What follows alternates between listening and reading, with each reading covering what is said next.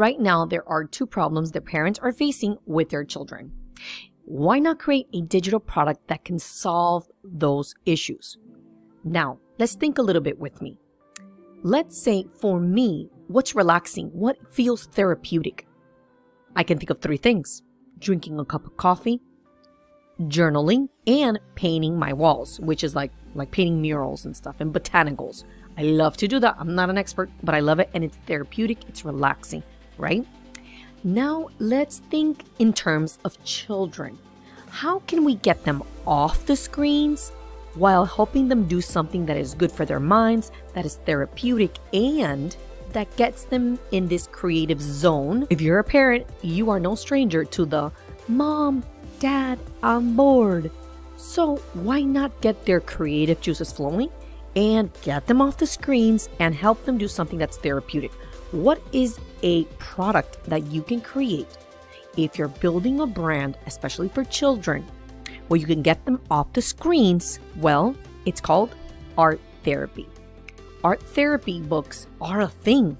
And I came across it because I'm always doing research on what digital products are out there, not just on Amazon KDP, but also what's what's trending. I go to Google Trends and see what people are searching for. I do a little bit of ChatGPT, and I'm always searching for different products that parents are actually searching for and they're buying for their children.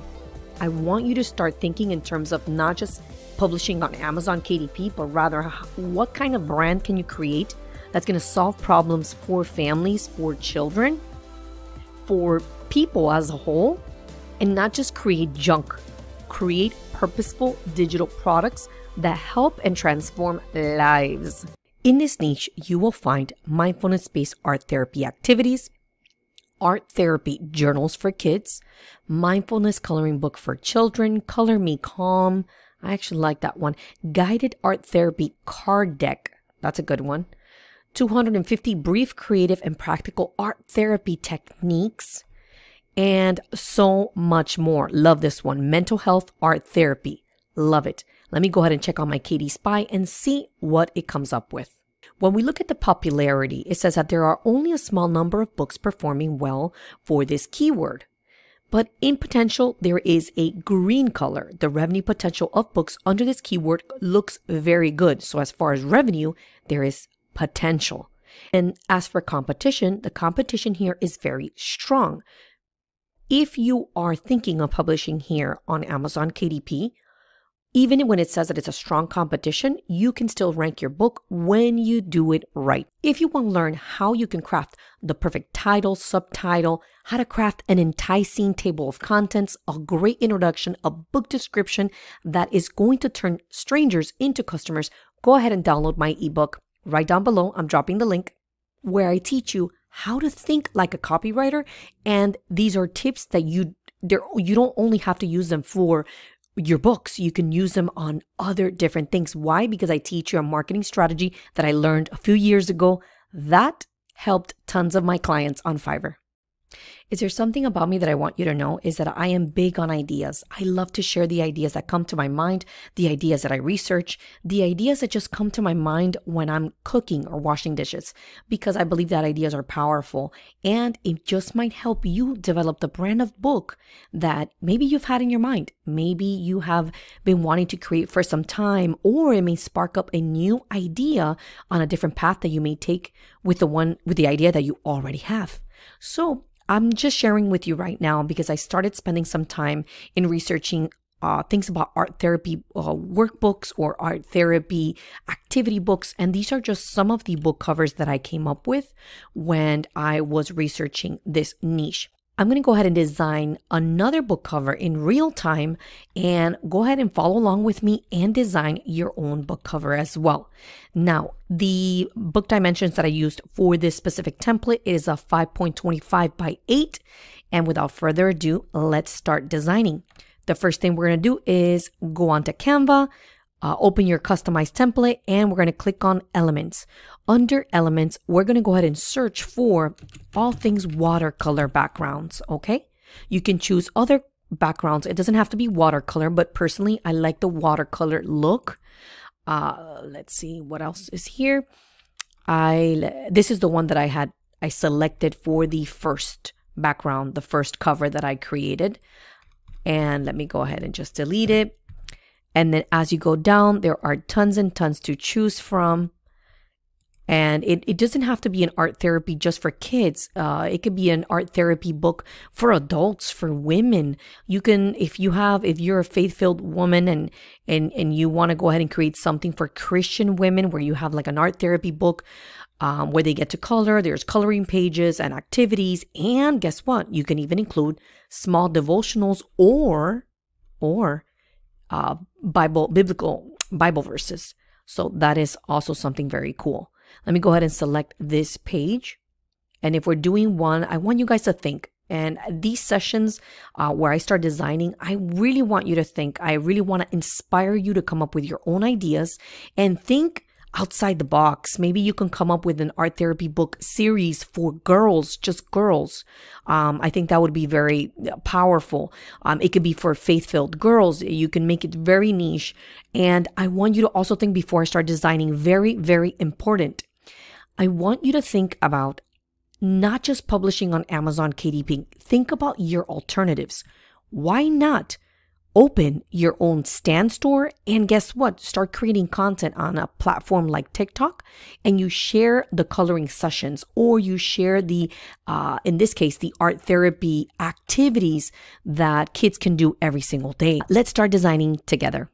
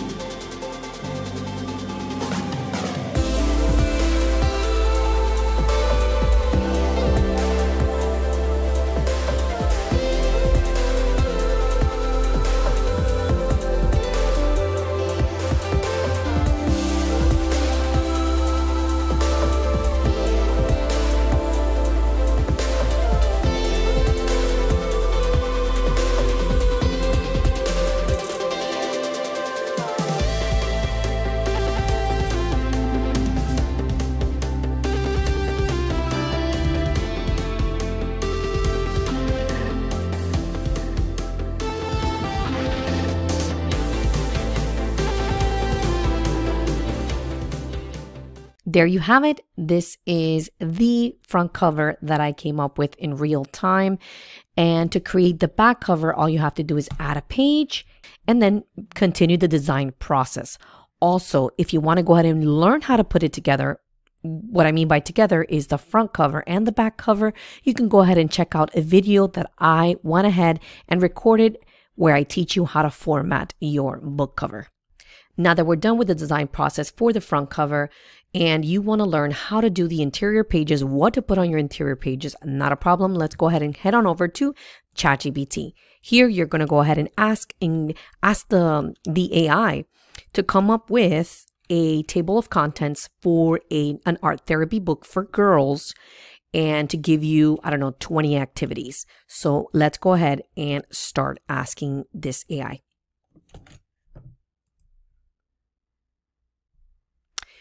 So now as it's coming up, it says here are 20 art therapy activities designed for girls to help them develop mindfulness, uh, self-awareness, and emotional expression.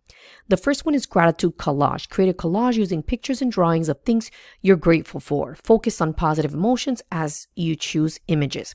For a gratitude collage, what you would do is you would go on to uh, Canva, and then this page, you would go ahead and name it gratitude collage. And then what you can do is you can go ahead and go onto ChatGPT, go ahead and grab this these instructions, and we're going to go ahead and paste them here. So you can go ahead and add them here so that they know exactly what they will be doing in this page. Now you can go ahead and provide some decoration as to, uh, let's say the borders, and you can begin to put, uh, let me show you we can go ahead and maybe use See this right here? We can go ahead and decorate the page itself, like on the sides. Since it's a collage page, you can just go ahead and do pretty much any design around this. You can even flip this over and then use it here at the bottom or however you'd like. And then that way they can start doing a collage here in the middle. So that's a very simple activity. Um, and right now I'm just doing this in real time. So this could be 10 times better than what I just did right now. So let's say this is one of your pages, right? Then let's go ahead and add another page. Let's go to ChatGPT. It's asking you for mood mandalas. Draw or color mandalas while paying attention to how you feel. Each color or shape can represent a specific emotion you're experiencing.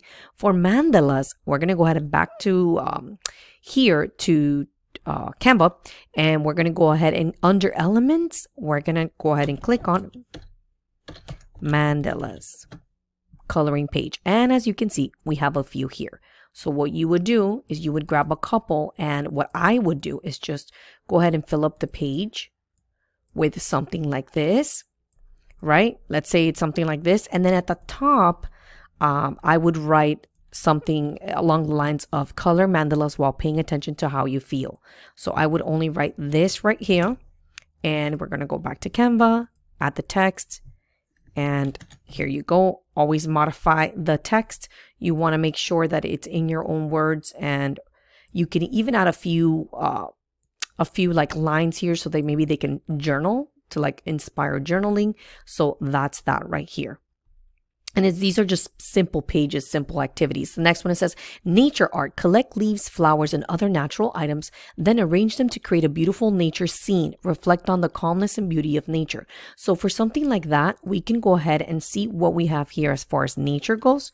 So we would go watercolor nature and let's see what comes up. So maybe we can fill up this specific uh, page with like grass and maybe they can go ahead and glue here uh, little uh, like actual like nature things that they found whether it's twigs flowers and so on and so forth or we can fill the page with just different items so that it's not a blank page. And you would put the directions here on the top so they know exactly what they're going to do for this specific page.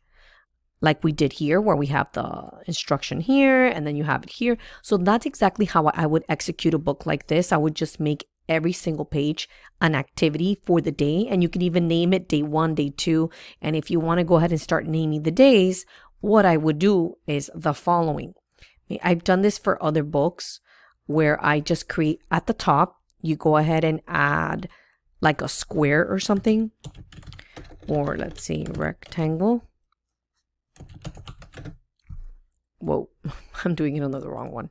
So rectangle and then let's go ahead and make it here. Or we can even shift this onto this side. And then here is where we would put day one. So we would go to, put it in the middle. And then here we would put day one. Let me go ahead and clear this bar and then put day one. You could do it like this or spell out the day one and then we would put this in here and pretty much you would have that page set. And this is very simple. It's a simple book that you can do. And like I said, if you're thinking in terms of really creating and making a brand out of this, go ahead and create the book, print it out, and then have um, and actually do these activities and just record yourself or you know your kids or whoever um, the book is for, and just create content around this specific book, this activity book or workbook. So this is that. I hope this video was helpful. I hope it sparked new ideas and new ways of executing your own idea. Thanks for watching, subscribe, and I will see you on the next video.